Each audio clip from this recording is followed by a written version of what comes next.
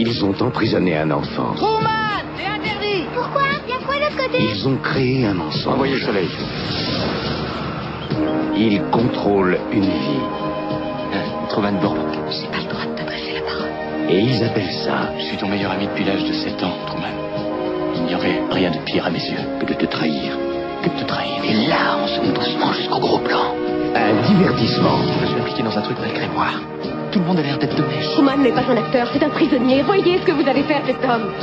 Si vous me dites pas ce qui se passe, je porte plainte Paramount Pictures présente le nouveau film de Peter Weir, le réalisateur de Witness et du Cercle des poètes disparus.